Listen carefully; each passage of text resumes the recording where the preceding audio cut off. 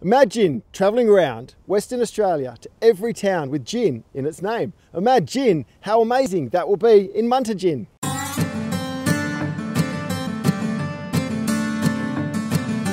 Welcome to Munty Pub. It's a pleasure having you here.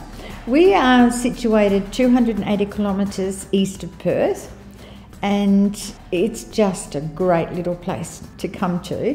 Just the environment, the freedom, and the no traffic. And we have a lot of people come to visit, and a lot of people like to stay. Um, we try our very best to make them welcome. Welcome to Munty! It's a really good place. They've got a very strong sense of community.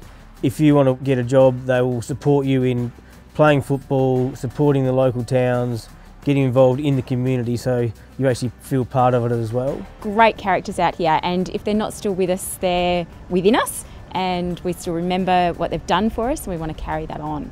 We moved up here and um, started farming with one of my best mates and we took it on from there as an investment and we think it's going to be better for our kids to be, be out here and have a good community and coming from Perth, you know, 150 people in the street and you don't know anyone, to coming here with a 200k radius and you know you'll know someone from everywhere and that sense of community is lost I think in the city and that's why we've moved out here and decided to, to, to live here, yeah.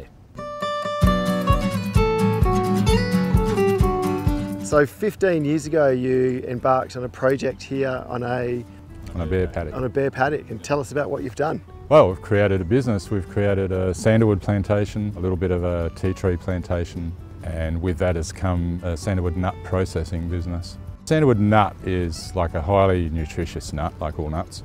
They have a, a huge omega-9 quotient to them, so there's 60 odd percent oil and 38% of that is omega-9. Do you think using sandalwood in a gin production is a good idea?